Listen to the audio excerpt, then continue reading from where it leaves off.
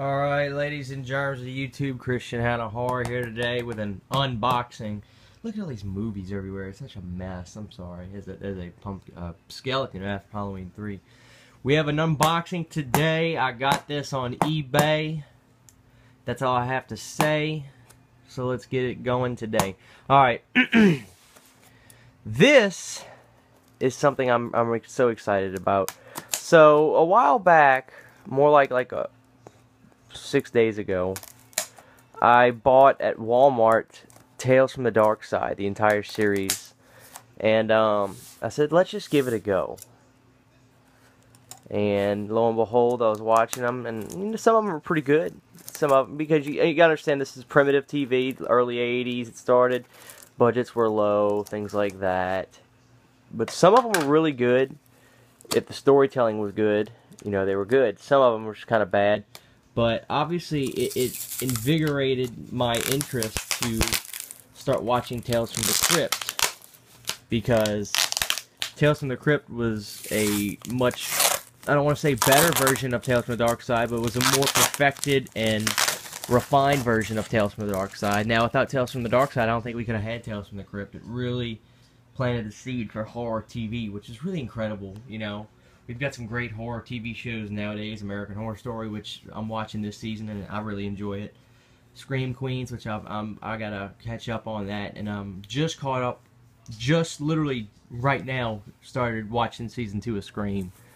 So, but we went ahead and I got the whole series for like $50 free shipping on eBay for Tales from the Crypt, the entire series. So, we're just going to unbox and look at the cover art for these, and let's go ahead and do it.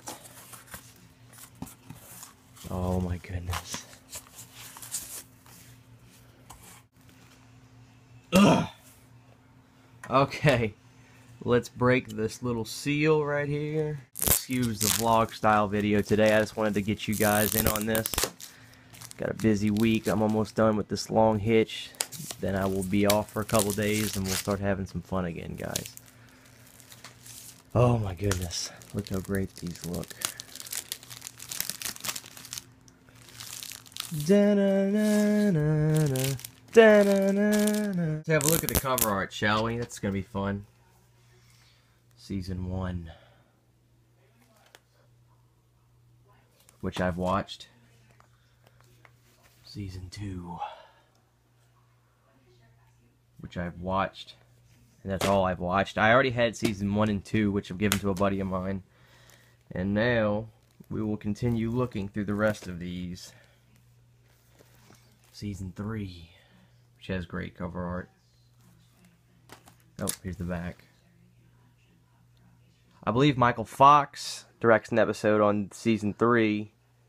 Um, side note, which is pretty cool, Schwarzenegger directed an episode in season two. Big stars in this movie. Patricia Arquette was in this.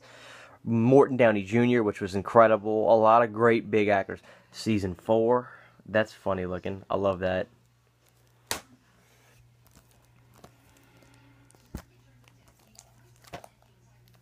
Season five.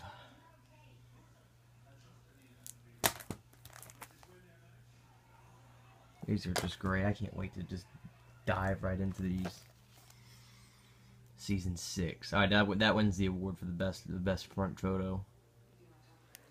And the bittersweet and slightly upsetting, knowing it was the last one. Season seven. The show lasted a while, y'all. Props to Kevin Yagher for creating this guy and his team. They created the Crypt Keeper. There it is, guys. Tales from the Crypt, the entire series.